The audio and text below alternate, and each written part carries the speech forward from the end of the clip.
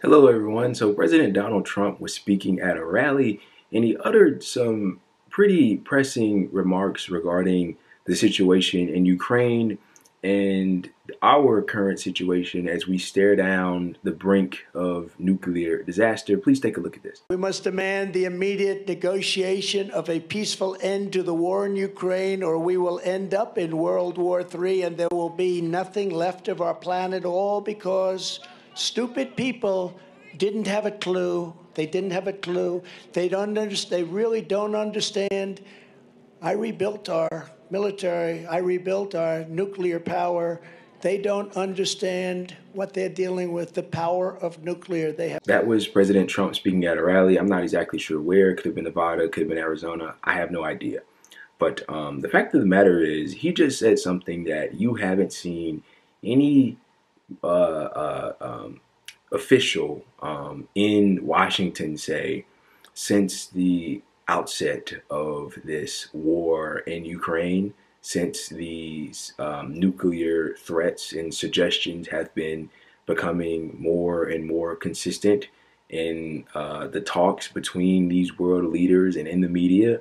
Um, you have Biden, you know, warning of impeding Armageddon and things like that. I mean, it, in a time in which it seems like the world has taken a turn for the worse, you know, our leaders that are um, const- that are uh, in power currently aren't doing anything in order to stop this, and they're agitating the situation, and things are getting worse and worse by the day. And here we have a former president, Mr. Donald Trump, who by no means in his day with some, um, you know, anti-imperialist uh, as it pertains to his policies, but it seems like he has sense enough to know how far to go, when to stop, and how to do it. Um, my personal opinion here, Donald Trump is hilarious. Um, pretty much everything he says is clip worthy in that pow in this clip that I just showed you.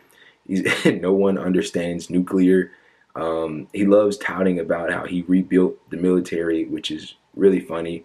Um, but I would like to bring out how he says here in that clip that we just watched it would destroy the planet.